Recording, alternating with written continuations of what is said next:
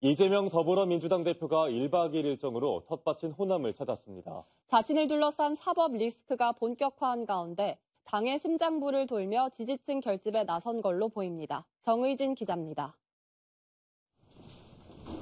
검찰 소환을 통보받은 이재명 대표의 선택은 호남행이었습니다. 첫 일정으로 전남 여수산단의 GS 칼텍스를 찾은 이 대표는 우선 가뭄으로 고통받는 호남 지역민들에게 위로의 말부터 전했습니다.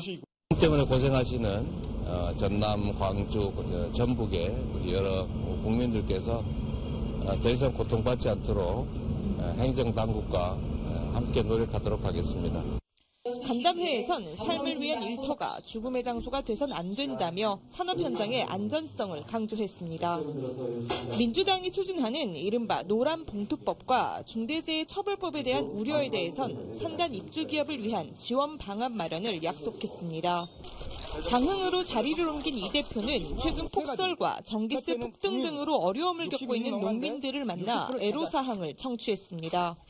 국회 법사위에 계류 중인 양곡관리법 개정안을 반드시 통과시키겠다는 의지도 밝혔습니다.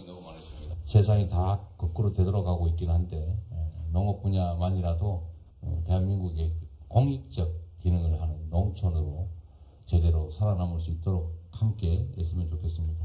시민들에게 민주당의 주요 입법 사항과 내년도 예산안 등을 설명하는 국민 보고회도 마련했습니다.